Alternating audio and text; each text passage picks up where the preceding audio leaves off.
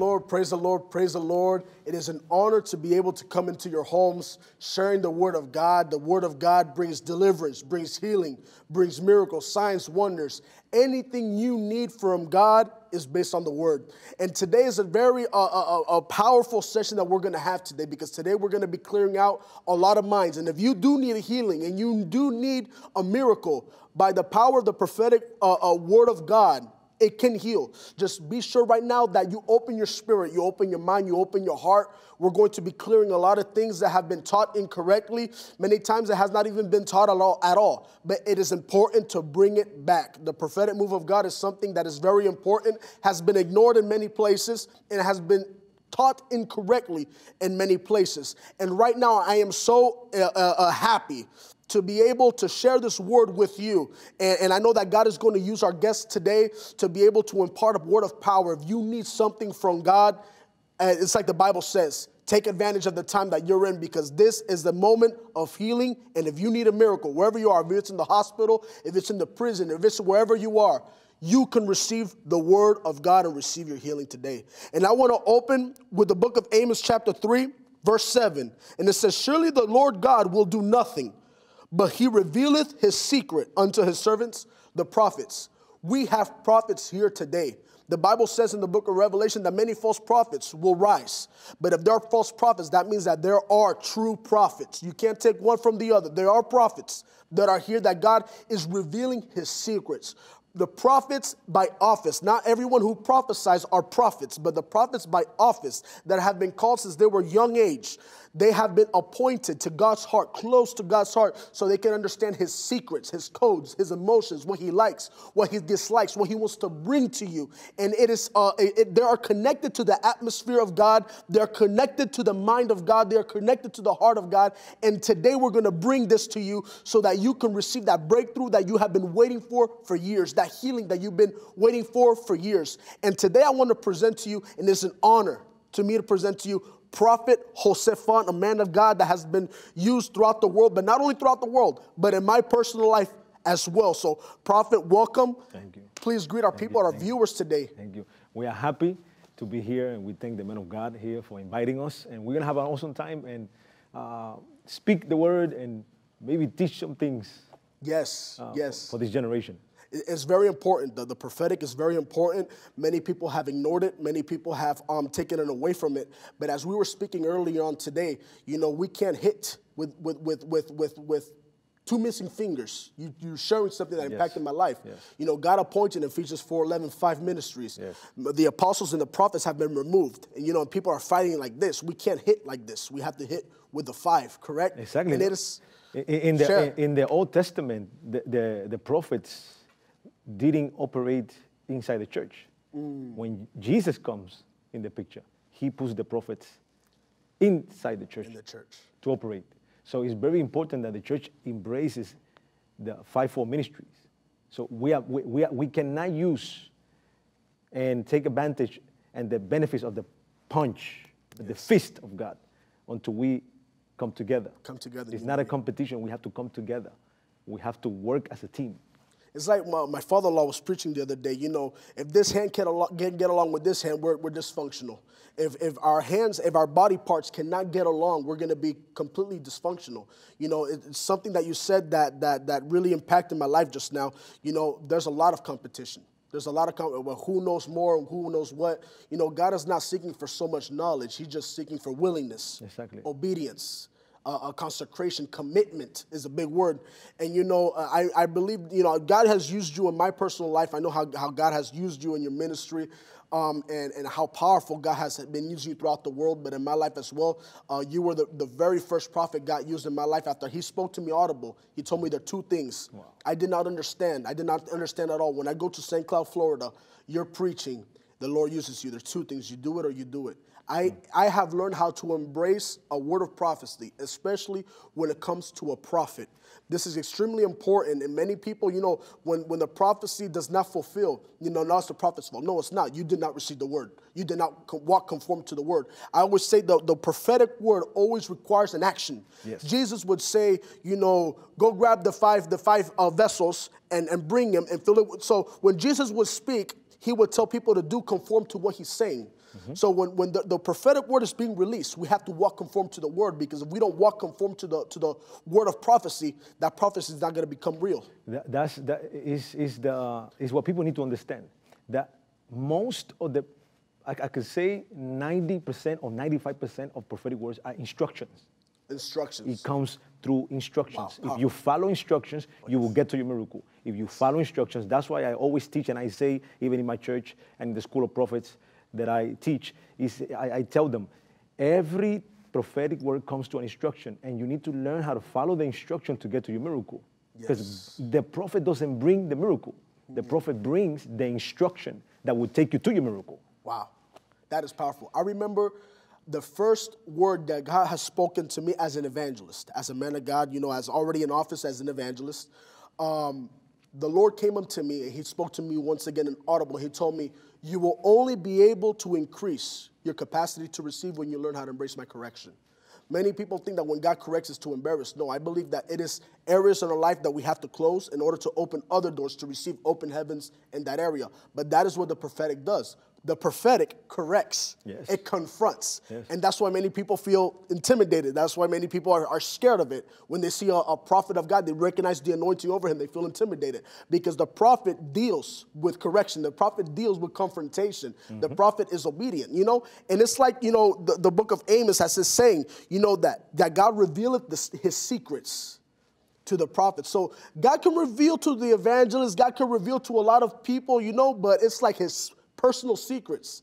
He reveals it to the prophets. That shows me right now that there are still prophets. There's secrets that are being revealed. Prophets are, are, are not uh, uh, better than nobody or, or- better than any other position in Christ, like better than an evangelist. No, it's just that when God chooses a prophet, it's God choosing friends, intimate friends that he can, he, he can talk to them and let them know what he's thinking and what is he about to do. What, what, what is it that he's going to do and what he's about to bring, and he wants to share with his friends. So you said correction. Correction, if we look in the Bible, correction is the highest expression of love. Wow. You know, and we don't see it like that. The Bible says that he whom he loves, he corrects. That means correction is love. I still love you if I correct you. If you, as a father, take time to correct a son, that means you are investing time because you still love that Yes, child. yes. So, prophets come to edify, to bring uh, Exhortation. exhortation and comfort, you know, and bring perfection because the Bible says is we are here to bring perfection into the body. So to bring perfection, we have to take away and cancel those things that are bringing uh, the wrong Yes. flow Yes. in the body. Yes. So in order, I always say, you know, before we teach, we're student. You know, God, God, when He corrects, especially His prophets, is because He wants to reveal something. He wants to show something deeper. And you know, it's like I was, I was preaching one time, and I was telling the people, you know, about that, that correction. You know, in, in order to be able to impart, we have to be willing to receive. You know, and I know that that God, you know, it's not, it's not that that that prophets, you know, are in everyone because not everyone who prophesies means that they're a prophet. You know, uh, you know, I, I teach a lot on what's you know the office of the prophet, like yourself. You have um the the the gift of prophecy, the spirit of prophecy, and you have the word of God as you know an instrument to prophecy because the Bible speaks everything we're seeing, everything we're living. You know, it's it's prophetic. You know, and when we speak conform to the word, you know, it's prophetic. The things that we're, that we're the times that we're living, that's prophetic. But you know, in order to be in office of a prophet, I believe personally, and correct me if, I'm, if I'm wrong, to be a prophet is not something you can look for. It's not something that you can go towards. It's not something you can ask for. It's something that God does by grace. Yes, it's an election by grace. I believe very strongly that you don't become a prophet. You are already a prophet. Wow. You just need to find doubt if you are or not. Yes. But you have to discover it. Also, this don't disqualify somebody from prophesying because a lot of people will be like, oh, so how am I going to prophesy if I'm not a prophet? Well, there were many people in the Bible that weren't prophets. And I even know people now that are sharper than some prophets prophesying. Wow. And they're not even prophets because you could sharpen your gift. Hmm. And that makes you a strong prophetic person. So many people flow in the gift, not in the office. Exactly. And you can, uh, the, the, the thing is that the anointing is position, it's not hmm. power.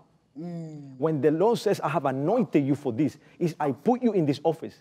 Being in the office doesn't make you powerful. Wow. Being in the office doesn't mean you have carry supernatural gifts.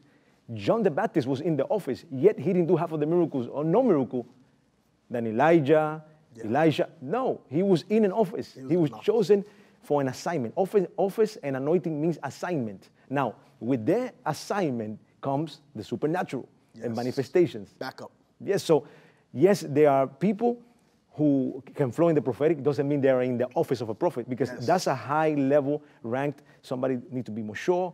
Somebody needs to be go to a process. Every time God put you to the process, when you are you know called to be a prophet, is God testing you and testing you and Yes. testing you and testing you before He sends you. It's like a product. I got I have to test it before I put my seal on it. Yes, yes. So we're going to go on a quick break. It's extremely wonderful. We're going through this is going to get a lot deeper. It's very uh, amusing how we can um, activate the prophetic to, to create and release healings and, and miracles. But I want you to stay tuned. We're going to go on a quick break. We're going to come right back, and you're going to receive your healing and your miracle. God's Country. Seven keys for you to live an extraordinary life by rediscovering your identity, nationality, and purpose. A kingdom book that every leader, minister, and church should have. Pablo speaks about topics and leaves a clear revelation on how the kingdom of heaven functions. He explains the difference between Jesus and religion, a Pharisaical mindset, and a kingdom mindset, how kingdom leaders function as God's representatives. He explains the heart and the character of a true leader and how authority can only be received under submission. A kingdom book brought to your life so that you can receive breakthroughs, accelerations, and knowledge. You can obtain your copy at www.trueperspectivepublishing.com or globally everywhere books are sold. Change your mindset to a kingdom mindset today.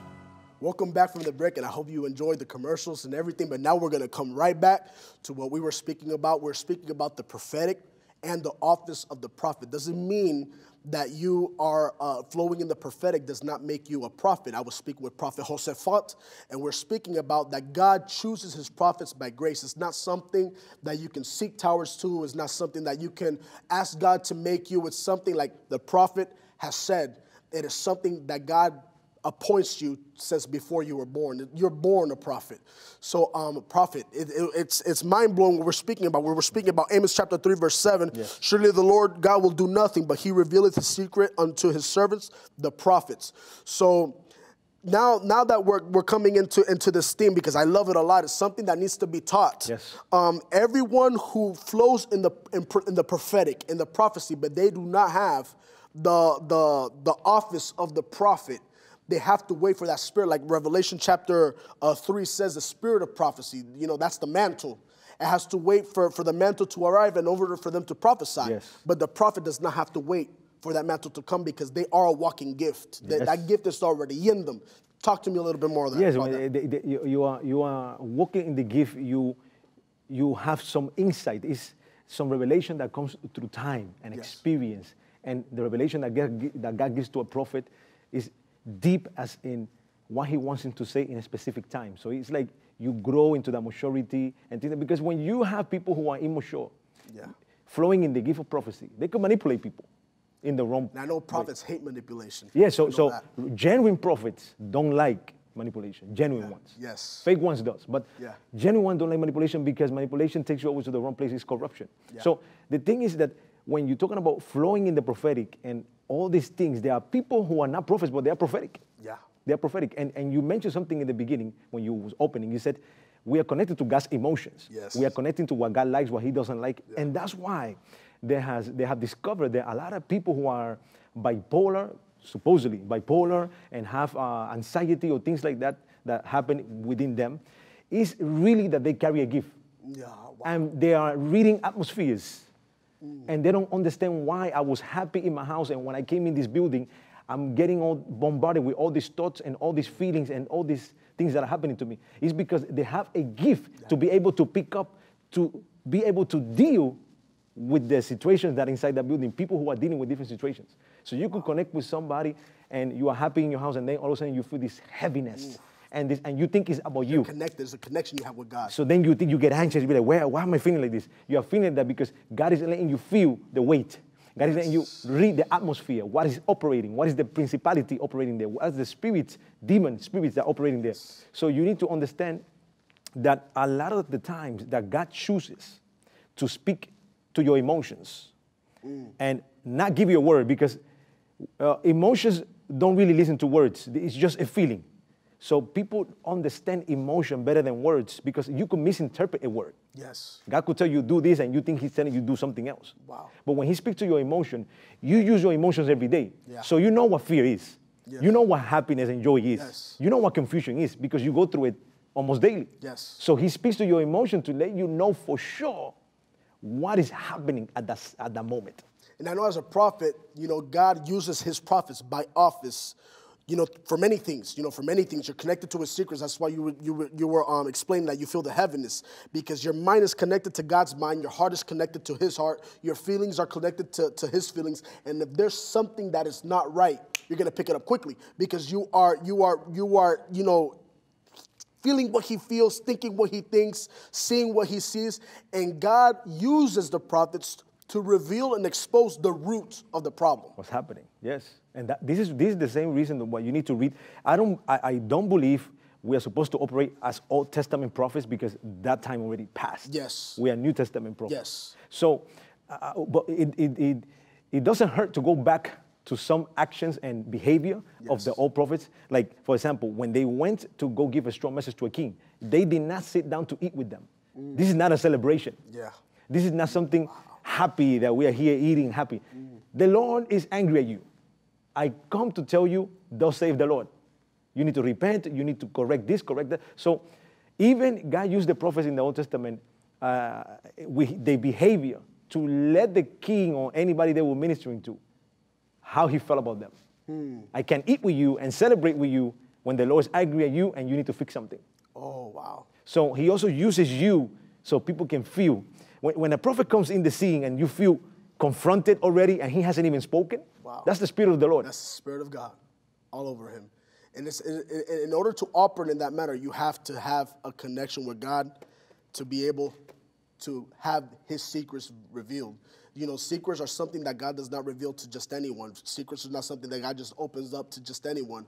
Because if he, it's like you know, i- i- you know, you know, prophet must know when to speak, when to to to be quiet, when to put everything in prayer. But you know, the, the office of the prophet. You know, I believe that not everyone's a prophet. Even in the in the Old and New Testament, you know, not everyone was a prophet. You know, a lot of people want to be prophets. You know, but not everyone is a prophet. I believe that when God, you know, calls a prophet, it's since, like you said, since he was born, you just come with it, something that God chooses by grace. And this has not been taught in the church. Yes. You know, right now people just say, get up and, and, and say something. You know, every, eh, you know, in order to, to, to be able to speak and prophesy, you know, if you're not under the office, the mantle of the prophetic has to be, the spirit of prophecy has to be in. And he says that the Spirit of the prophet is subject. Yes. That means you are able to, you see, the maturity of a prophet Mm. is how long he's able to keep a message inside his belly until it is time to release. Wow. Only a rookie, only somebody in kindergarten, Yes. only somebody who is beginner wants to say everything that comes to him at the time. Wow. You have to be able to marinate that and let that sink in and wait for the right timing to then be able to speak. Wow. That is And then it's in the right time that that word will do what it's supposed to do. So we, we, we need to teach the people that, uh, like, like, I, like I was teaching in my uh, prophetic school, uh, I was telling them, how do you know when is God speaking? When is not speaking? How do you know when, when God is saying something? You read the Bible. And many say, yeah, but everybody says that. Yeah, but let me give you a little secret here.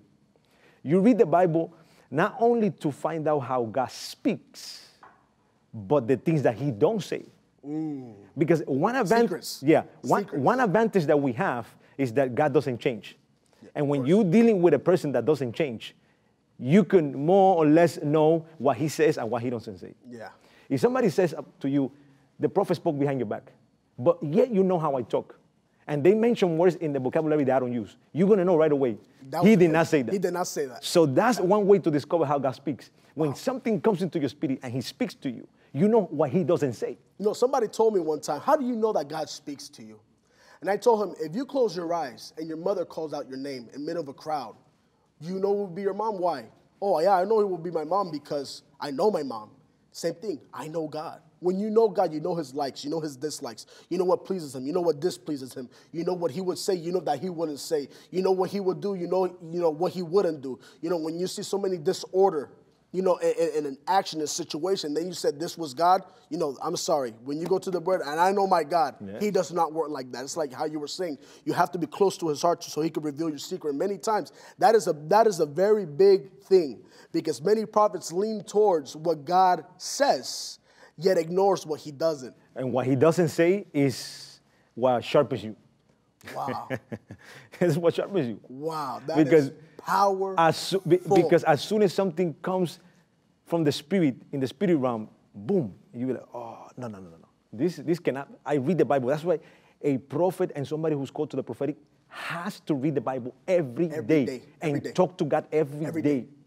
oh, yes. Communication strengthens what you know about the It's Holy like- Spirit. It's like it's like it- it- you know, God's. I believe God speaks something new every day. He is so large. He is so huge that He has something new for us every day. And maybe we were connected yesterday, but we're not connected today. We don't know how He is feeling today. We don't know what He wants to say today. He's always updating, right? you see, we get newspapers every day. yeah. In the spirit realm, there's newspapers also. Wow. There's fresh word. Powerful, powerful. I've never thought about it like Yeah, that. you, you, you, you receive like updates all the time. Is that people love uh, uh, when they get updates in their phone. Yeah. No, learn how to get updates also in the spirit. Yes. And a lot of that comes through speaking in tongues. wow. You speak in tongues, you get updated.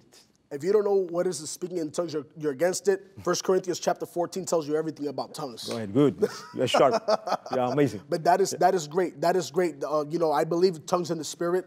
You know, I believe that our our spirit, uh, when we speak in tongues, is to edify us. You know, we're connected. Is the language we have with God. Only we and God know what's happening here. You know, I'm not against uh, people that don't believe in speaking in tongues, but wh- what I'm saying is uh, you are missing out. Yes, On on- receiving, on receiving updates. Updates. Because tongues, Wow. tongues are codes. Wow, And when codes, you see, when you're getting an update in your phone, it's codes. you're right. And then codes fix bugs. Wow, Okay. powerful, powerful, powerful, powerful prophet. I have to have you on again. We got to do a part two to this to this session. This is this is. Thank been you. Completely incredible. And this is something that has been, you know, that has been, you know, very missed out in the church, has not been taught, and it has been taught many times, has been taught incorrectly. But, you know, really quick, I would like you to make a, a, a quick prayer um, and, and release a powerful word over our viewers today. I decree and declare over your life prosperity, abundance. One thing that you need to understand that a prophet carries is he carries sound, and words come through sound. And in the sound, there's prosperity. And prophets are linked to prosperity. So I speak prosperity into your life. I speak abundance into your life, healing into your life. And may every wrong voice, every wrong voice that you that you hear in your mind be corrected and may you listen to the right voice in the name of Jesus. May you begin to flow and operate in higher dimensions, higher levels of anointing. And may you receive deliverance in your family, deliverance in your mind, and may you be stronger than ever this 2018 in the mighty name of Jesus. Amen. Amen. Amen. Thank you for viewing us today. I'm Reverend Pablo David Fonseca, and we will be with you again in the next program. God bless you.